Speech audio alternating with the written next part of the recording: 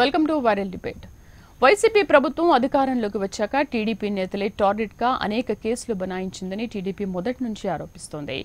ఈ క్రమంలోనే కోడెల శివప్రసాదరావుపై పలు కేసులు నమోదయ్యాయి. ఈ నేపథ్యంలోనే ఆయన మానసిక క్షోభకు గురై ఆత్మహత్యకు గురయ్యారు. కోడెల ఆత్మహత్య చేసుకోవడం అప్పట్లో హాట్ టాపిక్గా మారింది.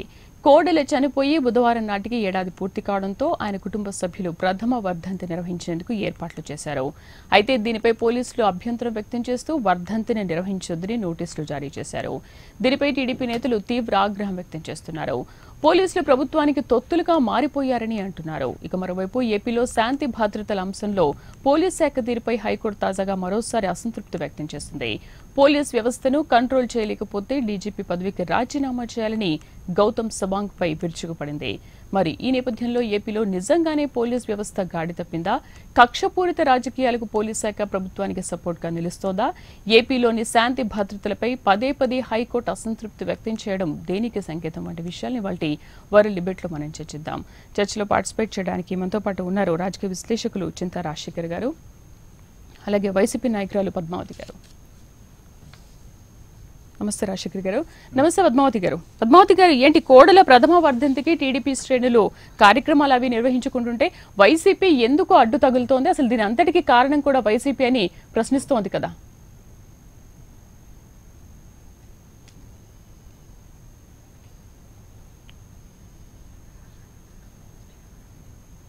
పద్మావతి గారు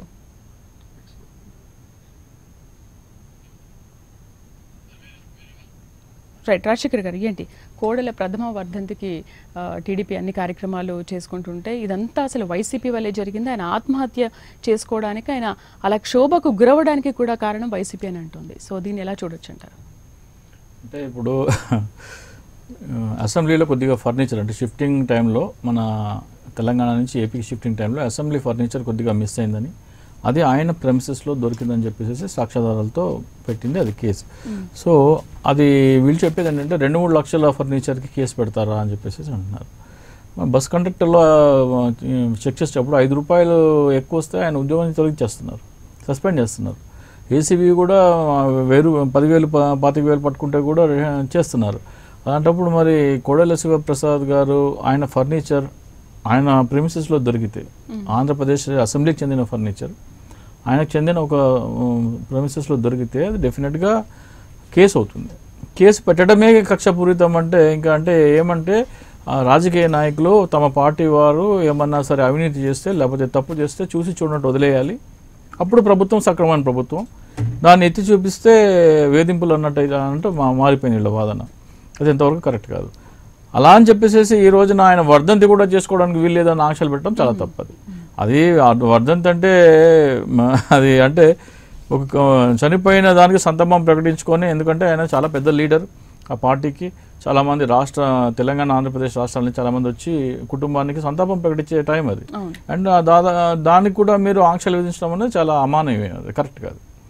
ఇలాంటి పనులు చేయడం వల్లనే ఒక్కోసారి డీజీపీ గారి మీద ఆరోపణలు వస్తున్నాయి. హైకోర్టు చీఫ్ మొన్న కూడా పెట్టడం జరిగింది. అయితే నిన్న హైకోర్టు హెబియస్ కార్పస్ కేసులో కూడా మీరు ఈ సరిగ్గా పోలీస్ మన యంత్రాంగాన్ని నడిపించలేకపోతే రాజీనామా చేయడం అనేది ఆ స్థాయికి స్పందన అవసరమా డీజీపీ మీద? అంటే ఒక డీసీపీ కానీ డిఎస్పీ కానీ లేకపోతే ఒక సర్కిల్ ఇన్స్పెక్టర్ కానీ ఆ స్థాయి వ్యక్తులకైతే ఆ భాష కరెక్టే కానీ హెబియస్ కార్పస్ అంటే ఆయన ఆయన స్వతహాగా వెళ్ళారా? లేకపోతే ఎవరైనా కిడ్నాప్ చేశారా? లేకపోతే అనేక కారణాలు ఏంటి అనేది చాలా ఉంటాయి. అండ్ రాష్ట్ర వ్యాప్తంగా చాలా కేసులు నమోదవుతూ ఉంటాయి అలాంటి కేసులో డీజీపీ అంటే కొంచెం హార్ష్గా వ్యవహరించినట్టు మనకి కనబడుతుంది. రైట్. అంటే ఇప్పుడు ఏపీలో కూడా శాంతి భద్రతల అంశంలో కూడా పోలీస్ శాఖ తీరుపైన హైకోర్టు కూడా చాలా మండిపడుతుంది అండ్ అసలు పోలీసులు అలా వ్యవహరించడానికి కారణం ఏంటంటారు? అంటే అంటే ఇక్కడ పోలీసులు వ్యవహరించడానికి దాదాపు ప్రతి ప్రభుత్వం ఉన్నప్పుడు ఇలాంటి సంఘటనలు జరుగుతూనే ఉంటాయి. ప్రతి ప్రభుత్వం ఉన్నప్పుడు పోలీసులు ఒక ఒక అడ్మినిస్ట్రేషన్ కొద్దిగా టిల్ట్ అయి ఉంటారు ప్రతి స- ప్రభుత్వం ఉన్నప్పుడు. కాకపోతే ఇప్పుడు వైసీపీ ప్రభుత్వంలో దాని ఎక్స్పోజర్ బాగా జరుగుతుంది. అంటే ఏమాత్రం ఏ కొద్దిగా ప్రభుత్వానికి అనుకూలంగా ఏ కొంచెం చూపించినా కానీ దీన్ని టీడీపీ సమర్థవంతంగా ఎక్స్పోజ్ చేస్తుంది. సో అక్కడ చాలా సక్సీడ్ అయ్యారు తెలుగుదేశం పార్టీ. అండ్ ఆ, ఎప్పుడైతే ఎక్స్పోజర్ పెరిగిందో హైకోర్టు దృష్టికి నోటీస్కి వెళ్ళటము ప్రతి చిన్న దానికి ఇలా వేధిస్తున్నారు అనేది హైకోర్టు నోటీస్ కంటే దీన్ని ఎక్స్పోజ్ చేయడంలో హైకోర్టు దృష్టికి తీసుకెళ్ళడంలో తెలుగుదేశం ప్రభుత్వం సఫలంగా అంటే సమర్థవంతంగా పనిచేసింది. సో అందుకని అక్కడి నుంచి రియాక్షన్ వస్తుంది. సో ఇలాంటివి యాక్చువల్లీ అన్ని గవర్నమెంట్స్లో జరుగుతాయి. ఈవెన్ తెలంగాణలో జరుగుతాయి ఎన్ని స్టేట్లో జరుగుతాయి. కానీ దాన్ని హైకోర్టు దృష్టికి న్యాయమూర్తుల దృష్టికి తీసుకెళ్ళడంలో తెలుగుదేశం వ్యవహరించినంత సమర్థవంతంగా మిగతా విపక్షాలు సమర్థ పనిచేయలేదు. కానీ కోర్ట్ అనేది ఇప్పుడు పోలీసుల్ని పదే పదే పిలిచి మందలించడం అనేది అసలు ఇప్పటివరకు ఎన్నిసార్లు జరిగించొట్టు జరిగించవచ్చు అంటుంటారు మీరు? అంటే అది చాలా అంటే చేయి దాటిపోయిన విషయాలు కానీ లేకపోతే మరీ వన్ సైడెడ్గా అంటే బయాస్గా బిహేవ్ చేస్తున్నప్పుడు డెఫినెట్గా కోర్టు ఇంటర్వ్యూన్ అవ్వటం మందలించడం అనేది జరుగుతుంది. కానీ ఆంధ్రప్రదేశ్లో ప్రతి చిన్న విషయానికి విపక్షాలు దాన్ని ఎక్స్పోజ్ చేసి ఏదో ఏదో జరిగిపోయినట్టు చెప్పడము. అలా న్యాయమూర్తుల అటెన్షన్ వస్తుంది ఆటోమేటిక్గా. అండ్ ఒక ఒక సెక్షన్ ఆఫ్ మీడియా దాన్ని మా మాటి మాటికి ప్రొజెక్ట్ చేయటము. దానివల్ల ఏమవుతుందంటే మీడియా అటెన్షన్ ఎక్కువ ఇవ్వడం వల్ల న్యాయమూర్తుల అటెన్షన్ కూడా వస్తుంది. అప్పుడు డెఫినెట్గా ఆ- ఆ పర్సెప్షన్లో ఉంటారు. సో అది మీడియా అండ్ అపోజిషన్ పార్టీ చేస్తున్న దీనికి ఈల్డ్ అవుతున్నారు న్యాయమూర్తులు కూడా. ఓకే. సో ఇలాంటి పరిస్థితుల్లో పోలీసులు ఎలా వ్యవహరిస్తే బాగుంటుంది అంటారు? పోలీసులు అంటే వాళ్ళకైతే స్టిపులేటెడ్ గైడ్ లైన్స్ ఉంటాయి వాళ్ళు కూడా అంటే ఎవరైనా సరే స్వతంత్రంగా పక్షపాతంగా వ్యవహరించడానికి వీల్లేదు. వాళ్ళు కూడా బుక్ ఎలా ఉంటే అలా దాన్ని బట్టి వాళ్ళు చేయాలి. కొద్దిగా ఏమైనా డిబేట్ అయితే అవుతారు కానీ అంతకు మించి ఏమీ చేయడానికి లేదు కానీ ఎప్పుడైతే నిన్న కేసు నిన్న తీవ్రమైన వ్యాఖ్యలు చేసిన తర్వాత మరి రియాక్షన్ ఎలా ఉంటుంది డీజీపీ గారిది అనేది చూడాలి. రైట్ పద్మావతి గారు మళ్ళీ లైన్లోకి వచ్చారు మాట్లాడదాం. నమస్తే పద్మావతి గారు. పద్మావతి గారు. నమస్తే అండి. రైట్ మళ్ళీ డిస్టర్బెన్స్గా ఉన్నట్టుంది. సార్ అసలు కోడల వర్ధంతి సభకు అనేది పోలీసులు ఎందుకు అడ్డు తగాల్సిన అవసరం చాలా అంటే? ఇక్కడే ఇక్కడే అంటే తప్పటడుగులు అంటే ఇక్కడే పడుతున్నాయి.